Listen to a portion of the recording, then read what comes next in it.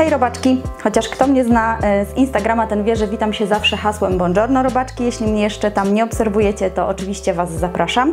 A w dzisiejszym odcinku przygotujemy coś, czego jeszcze na tym kanale nie było, bo będą to e, takie mm, potrawy, dania, które są dozwolone na poście dąbrowskiej. Ja osobiście ten post przechodziłam trzy razy, ale chciałabym Was uczulić na to, że to nie jest dieta odchudzająca, tylko post i jeżeli będziecie chcieli sobie na sobie mm, ten post zastosować, to oczywiście zachęcam, żeby to było pod kontrolą e, lekarza i e, z odpowiednimi badaniami. A teraz już nie przedłużając, e, pokażę Wam dzisiaj takie podstawowe, poglądowe potrawy, jakie na tym poście możecie sobie przygotować.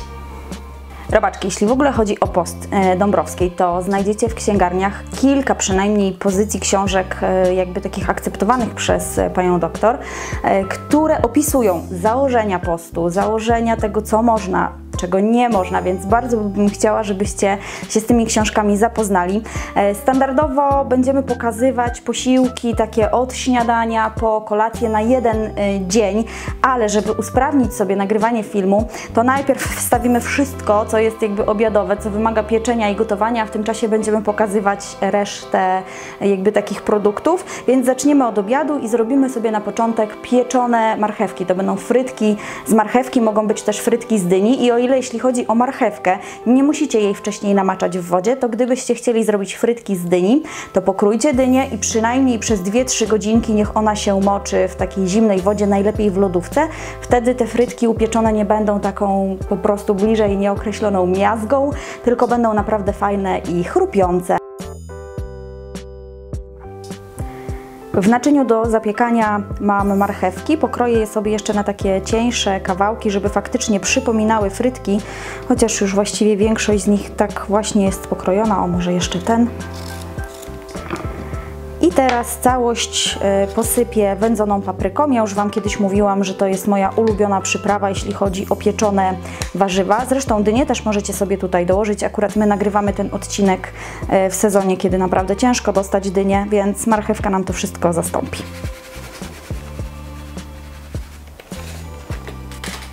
Musimy teraz e, obtoczyć naszą marchewkę tak dokładnie w tej papryce i rozłożyć mniej więcej tak, żeby kawałki na sobie nie leżały, żeby fajnie ta papryka się faktycznie upiekła. Cebulkę mamy w folii aluminiowej, natomiast jeśli jesteście przeciwnikami folii, to po prostu pokrójcie cebulę na mniejsze kawałki, ale folia sprawi, że ona się tak fajnie upruszy. Więc cebulę bez żadnego doprawiania po prostu zawijam w kawałek folii aluminiowej i włożę do naczynia do zapiekania. Całość teraz wstawimy do piekarnika nagrzanego do 190 stopni na jakieś 35 minut.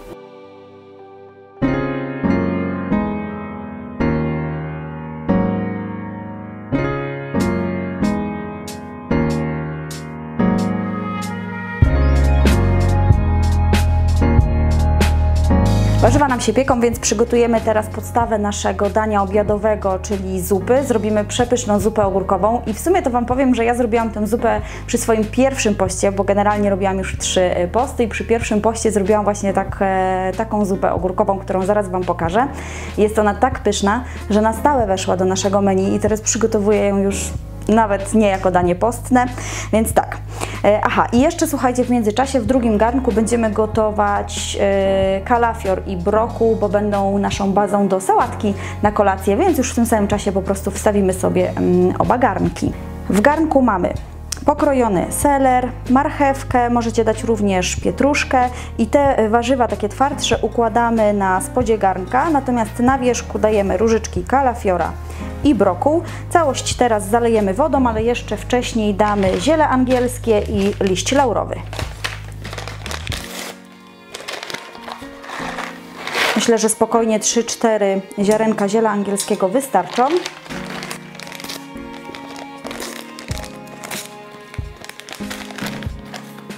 I dwa listki laurowe. Teraz całość zalewamy wodą Będziemy to teraz gotować do miękkości warzyw. I teraz tak, e, jeżeli chcecie zblendować całość zupy, bo będziemy ją blendować na e, zupę krem, to nie musicie wyciągać wcześniej ani kalafiora, ani brokuła. Natomiast gdybyście gotowali to tak, że chcecie po prostu odjąć sobie do wieczornej sałatki jeszcze trochę kalafiora i brokuła, to po prostu wyjmijcie je zanim staną się taką papką, czyli jeszcze jak będą al dente. My całość tej zupy będziemy blendować, więc właściwie nic nie muszę z niej wyciągać wcześniej. Będziemy ścierać zwykłe zielone ogórki i ogórki kiszone, przy czym znowu pamiętajcie, żeby to były ogórki kiszone, nie kwaszone i pod żadnym pozorem nie wylewajcie tej wody.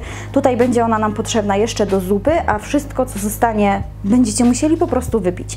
Ścieramy ogórki na tarce o dużych oczkach.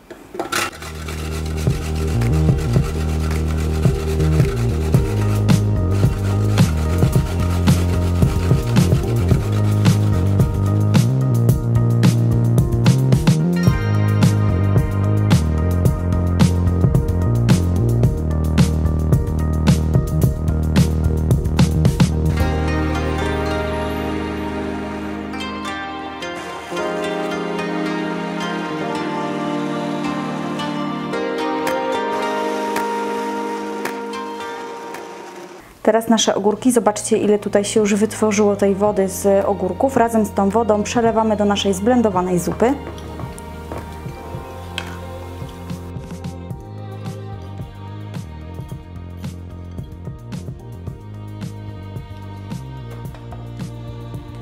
Wymieszajcie to i na koniec do uzyskania odpowiedniej konsystencji zupy będziemy dolewać wodę z kiszonych ogórków. Do zupy dodaję teraz majeranek. Możecie dodać dwie łyżeczki majeranku, właściwie no to możecie dodać tyle, ile lubicie. I dodaję do tego teraz pieprz ziołowy.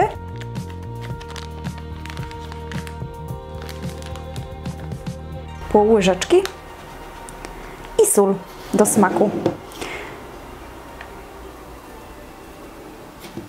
Oczywiście najpierw to wszystko wymieszajcie, spróbujcie, bo łatwiej zdecydowanie jest dodać soli niż jej odjąć. Właściwie jest to już niewykonalne. Więc teraz całość wymieszamy, spróbujemy i ewentualnie jeszcze doprawimy, jeśli będzie taka potrzeba.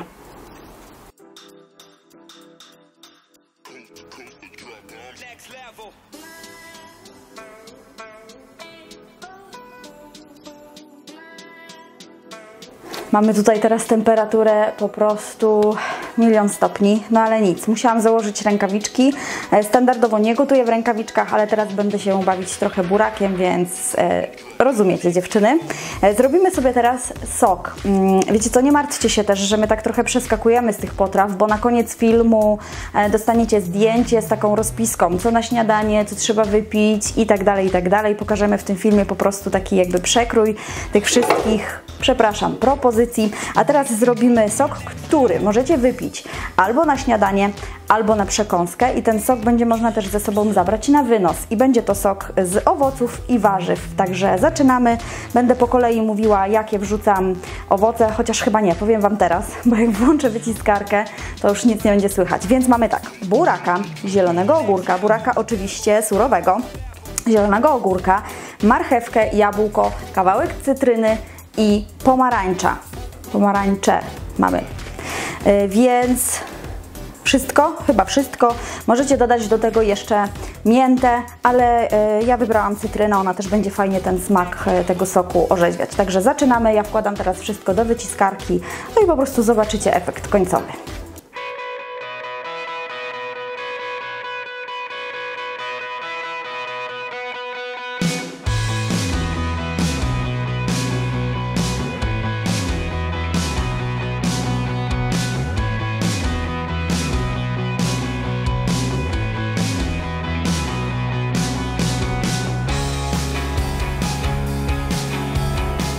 Sok można przelać od razu do butelki i wypić, albo można wziąć ze sobą na wynos. Słuchajcie, ja nie pamiętam, gdzie kupiłam tą butelkę. W jakimś na pewno markecie, takim spożywczym dyskoncie, e, więc jest fajna, bo jest zamykana, ale równie dobrze możecie posłużyć się słoikiem, jeśli chcecie zabrać sobie to na przekąskę do pracy.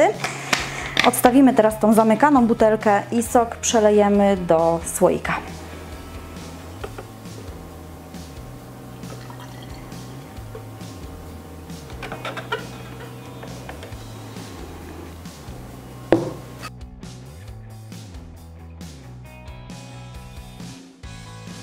Pokażę Wam teraz, jak przygotować taką najzwyklejszą, najprostszą surówkę z kiszonej kapusty. Pamiętajcie tylko, że jak kupujecie cokolwiek e, kiszonego, czy ogórki, czy kapustę, to żebyście nie kupowali kwasowy, kwaszonych, tylko kiszone. To jest naprawdę bardzo, bardzo ważne. I teraz jeśli chodzi o kapustę, wycisnęłam ją z soku. Soku też nie wylewamy, ani z kiszonej kapusty, ani z kiszonych ogórków, e, bo to nie chodzi tylko o to, że na poście powinniśmy to pić, ale w ogóle powinniśmy pić wodę z kiszonek, e, więc absolutnie tego nie wylewajcie. No i teraz jeśli chodzi o całą kapustę, to mamy tutaj e, jabłuszko, które już obrałam, marchewkę startą na tarce, zaraz jabłko też zetrzemy. E, natomiast jeśli chodzi o kapustę, pokroję ją teraz drobniej i wrzucę również do miski.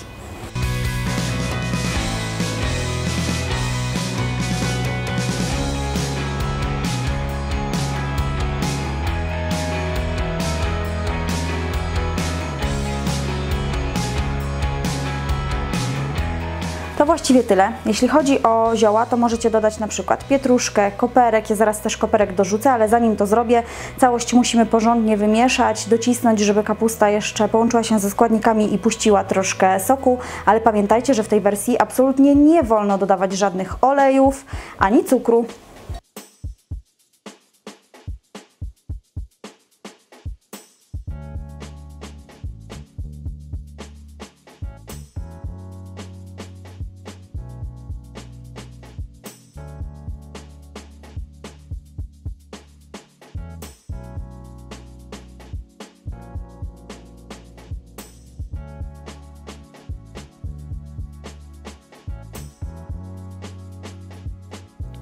Ostatnią potrawą, jaką przygotujemy, będzie sałatka, która świetnie sprawdzi się nawet na kolację.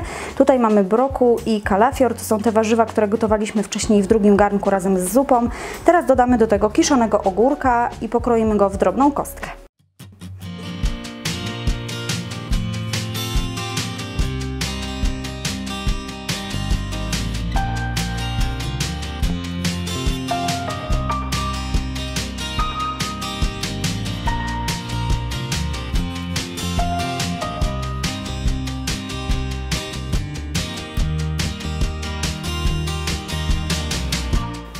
I teraz całość skrapiamy sokiem z cytryny.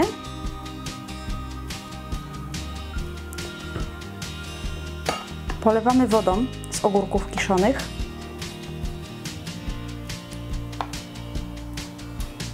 Starajcie się nie pomijać tego etapu, bo to naprawdę bardzo fajnie sprawi, że te wszystkie warzywa się połączą i one będą jeszcze takie kruche. Dodamy jeszcze koperek. Możecie też dodać natkę pietruszki, ale moim zdaniem koperek po prostu lepiej tutaj pasuje.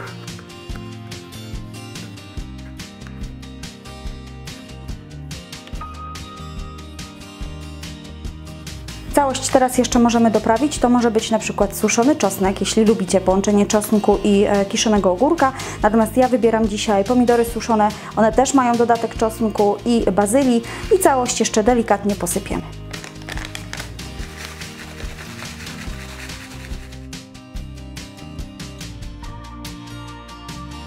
Kochani, na dzisiaj to już wszystkie propozycje. My naprawdę musimy skończyć, bo na dworze jest temperatura miliona stopni, więc w środku przy założeniu, że chodził nam piekarnik, gotowaliśmy, jest jakieś milion trzysta stopni i po prostu się rozpływamy, także my kończymy. Ja Wam bardzo dziękuję za oglądanie wszystkich pięciu odcinków e, z marką Kamis i ich przyprawami w dużych opakowaniach. A teraz oczywiście zachęcam Was do tego, żebyście koniecznie pod filmem dali mi znać, jakich e, kolejnych odcinków byście oczekiwali. Czy dalej ciągniemy temat postu Dąbrowskiej, a jeśli on Was interesuje, to też zapraszam Was na bloga www.mamagerka.pl. Tam jest jakby cała taka seria wpisów, są tygodniowe jadłospisy na ten post Dąbrowski. Jeśli macie do mnie jakieś pytania, to ja koniecznie, jakby koniecznie napiszcie je e, w komentarzach, a ja postaram się na wszystkie e, odpowiedzieć. Bardzo Wam dziękuję za oglądanie. Zapraszam do kolejnego odcinka i nie zapomnijcie subskrybować kanału. Pa!